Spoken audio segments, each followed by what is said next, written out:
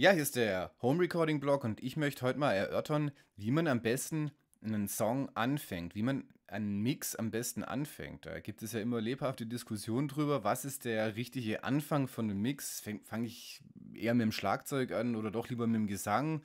Nehme ich zuerst die Gitarren? Mit was fängt man denn richtig an und in welcher Reihenfolge? Ähm, beim Mischen geht es meiner Meinung nach darum, die verschiedenen Instrumente und den Gesang in das richtige in die richtige Lautstärke Balance zu bringen und sie im Stereo-Panorama zu verteilen. Ähm, diese Sache kann man erreichen mit ohne ein einziges Plugin erstmal benutzen zu müssen. Und zwar kann man das mit dem Volume-Regler und dem Panorama-Regler machen. Das ist das Essentielle, um was es beim Mixen eigentlich geht. Und deswegen fange ich meine Mixe auch immer so an. Das heißt, ich äh, setze überhaupt keine Plugins erstmal ein, sondern ich versuche erstmal die einzelnen trockenen Spuren in ein ähm, gutes Lautstärkeverhältnis zueinander zu bringen und in ein gutes Panorama-Verhältnis zueinander zu bringen. Ähm, ich habe jetzt hier einen Mix vorliegen, nur trockene Spuren, es ist völlig unbearbeitet. Und äh, was ich am Anfang immer mache, ist, dass ich den, diesen Mix bounce und wieder reinlade, sodass ich immer wieder mal vergleichen kann, ähm, während dem Mischen, ob jetzt überhaupt meine Arbeitsschritte Erfolg gebracht haben oder ob es dann eher schlechter klingt wie dieser ursprüngliche trockene Mix. Und dann kann man unter Umständen wieder einen Schritt zurückgehen. Ich fange dann einfach an zu mischen und ähm, misch aus dem Bauch raus. Und wenn man den Song zum ersten Mal hört, hat es auch den Vorteil, dass man wirklich frische Ohren hat und noch völlig unvoreingenommen an den Song äh, rangehen kann und einfach Spaß haben kann, versuchen kann, den Song zu mischen. Ich stelle jetzt mal hier eine Stoppuhr, lass mal eine Stoppuhr mitlaufen, um zu zeigen, wie lange ich dafür ungefähr brauche. Okay, los geht's.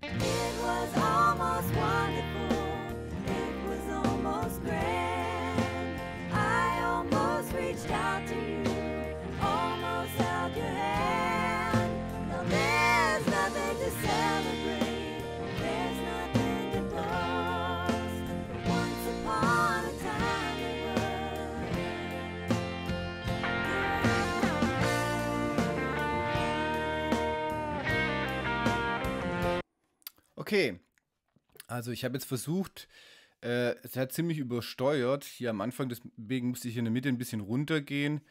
Ähm, vom Gesamtvolumen her von allem.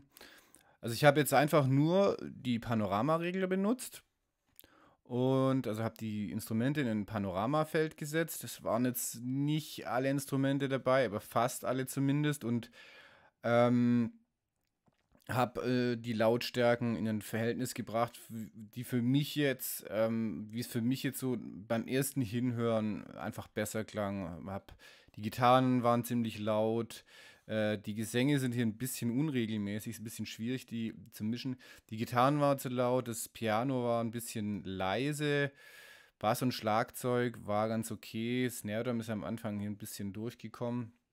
Okay, jetzt habe ich die Stoppuhr vergessen. Also sagen wir mal vier, viereinhalb Minuten habe ich gebraucht. Und jetzt hören wir uns mal den unbearbeiteten Mix einfach im Vergleich dazu an.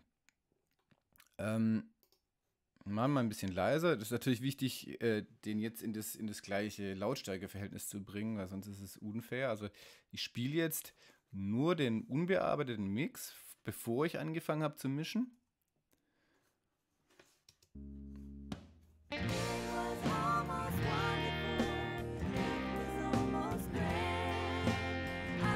So, jetzt kommt der bearbeitete Mix.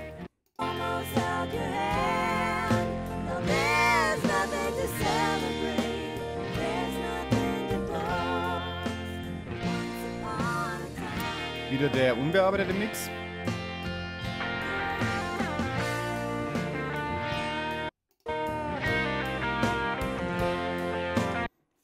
Mach nochmal die andere Stelle.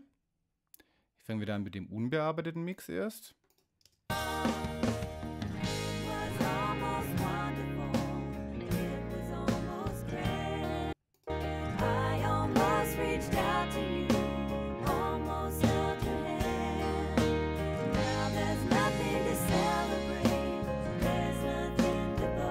der unbearbeitete.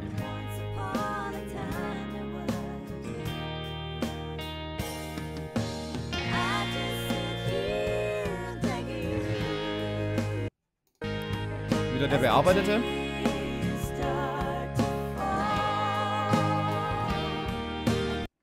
Okay, also es übersteuert hier noch ein bisschen. Aber was man sehen kann, ist, dass man in, innerhalb kürzester Zeit, also innerhalb von äh, vier Minuten, ja, zwischen vier und fünf Minuten habe ich jetzt gebraucht, um nur mit Volume, nur mit Panning den Mix transparenter zu machen. Ich habe die Gitarren aus, dem, aus der Stereo-Mitte genommen, dass der Gesang mehr Platz hat. Man hört den Gesang besser, der Gesang drückt schon besser durch. Das Lautstärkeverhältnis ist einigermaßen angeglichen, man hört das Klavier jetzt besser. Ähm, wie gesagt, die Gitarren sind an der Seite. Äh, der Mix wird gleich transparenter, greifbarer, direkter, präsenter. Und all das kann man erreichen in nur in nicht mal fünf Minuten und ohne ein einziges Plugin zu benutzen. Und ich finde, das ist wirklich, mh, mm, da kann man wirklich sehen, dass das ähm, Panning und die Lautstärkeregelung, das Volume, dass es wirklich richtig starke Waffen sind, um den Mix zu beeinflussen noch ohne, äh, äh, noch bevor man überhaupt das erste Plugin gesetzt hat, dass man, äh, wie stark man deinen Mix verbessern und verändern kann und transparenter machen kann. Okay, ich äh, hoffe, es euch hat gefallen und bis zum nächsten Mal.